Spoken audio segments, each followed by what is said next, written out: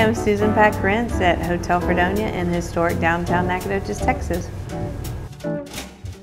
One of the neatest things about this building is it was built by the community, supported by the community.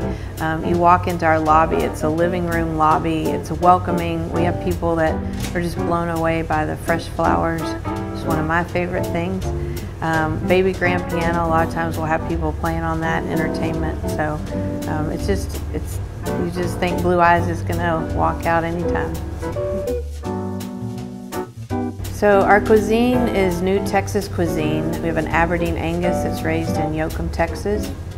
One of our best sellers is the stuffed chicken Harkrider. I think it has to do with the story behind it with Mr. Harkrider who's 101 and has uh, lived here and still is here and when you see the roses and the beautiful flora, uh, he's definitely part of that. And this chicken breast has the artichoke, spinach, and uh, Parmesan pesto.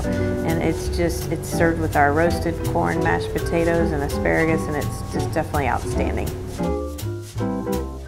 You know, it used to be that everybody provided service and good food and they really cared um, about the little details and that's where we get it right. If you have a special occasion or you have a, a celebration or just, you know, you want something cooked without a certain ingredient, that's, that's where we're special. That's where we do it right. That's where our staff is, is really into making each uh, moment that you're here at the hotel and eating uh, in our restaurant or in the bar or out on the patio. It's, it's the little details that really, I think, set us aside.